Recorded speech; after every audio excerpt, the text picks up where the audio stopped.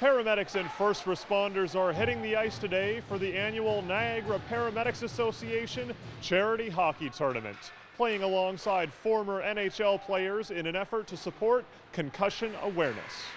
Uh, it's for paramedic, police, and fire departments kind of all across Ontario. We've got one team from Buffalo. Uh, and what we're raising money for is uh, Shoot for Cure, which is a fundraising campaign for uh, Stop Concussions and the Canadian Spinal Research Organization. So collectively, we try to promote brain injury awareness and spinal cord injury awareness, mainly in sport. And yeah, that's what we're all about today.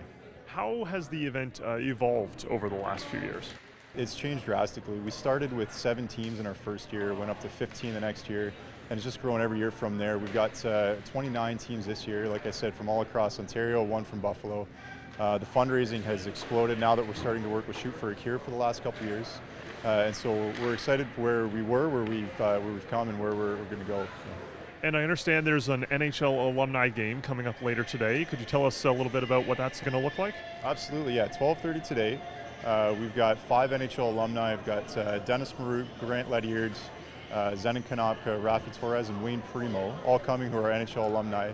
They play in a game with our top fundraisers from the tournament. So uh, it just gives us a chance to give back to our fundraisers a little bit and help us promote our events a little bit more. This is one of our five events that we do each year. We do one in Australia, and New Zealand, we do one in England, and when we go to the players and explain to them that what we're doing, we, we get a lot of hands up.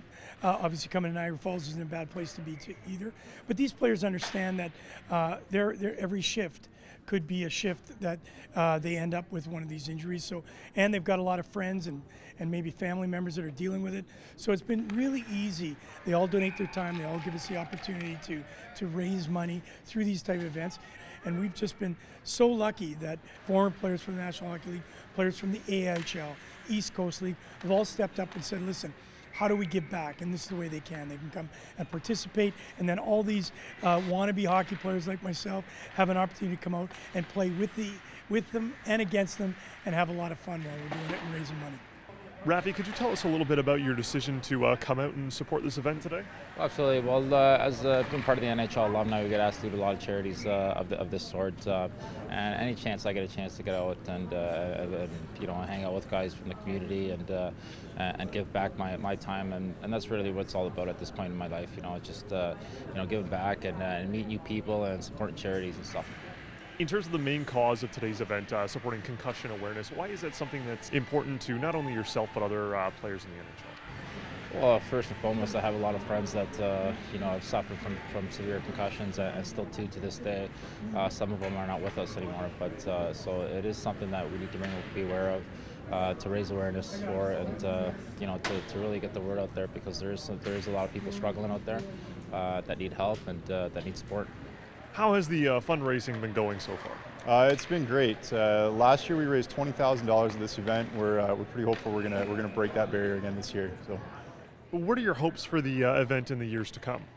You know what? Just to grow, to keep getting bigger, more teams. Um, the biggest thing that we want to do is create awareness for for uh, Shoot for Cure and for their fundraisers that they that they operate under. So. Um, you know, more money, more awareness for, for brain injury awareness, for spinal cord injury awareness, and that would be our big goal. With 29 teams competing in this year's tournament, it's shaped up to be the most successful one yet. From Niagara Falls, reporting for The Source, I'm Mitchell Glass.